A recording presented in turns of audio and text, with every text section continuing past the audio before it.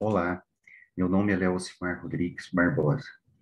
Todo mundo aí na faculdade me chama de professor Léo. É, na Faculdade Evangélica Raízes, nós trabalhamos desde a sua fundação até os nossos dias, né?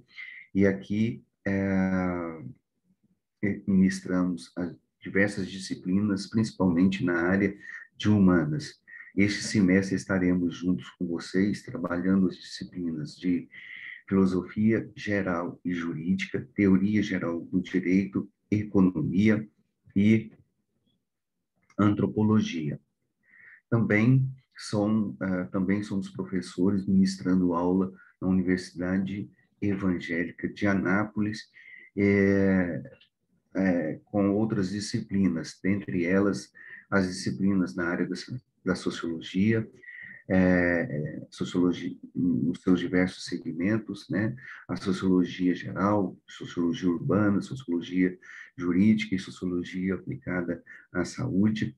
Trabalhamos com ética geral, ministramos também a disciplina de cidadania, ética e espiritualidade.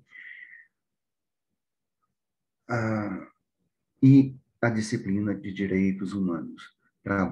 Trabalho na pós-graduação também no curso de Direito da Faculdade Evangélica de Rubiataba, com a disciplina de Criminologia. Além disso, sou professor nos cursos de extensão, tanto aqui na Faculdade Evangélica Raízes e na Universidade Evangélica de Anápolis, ministrando alguns cursos como Lógica, Hermenêutica, Teoria da Argumentação, História do Direito, Sociologia e Economia. É, também sou professor orientador do PIVIC, projeto de é, projeto voluntário de iniciação científica. É um prazer, então, novamente estar aqui com vocês durante mais este semestre.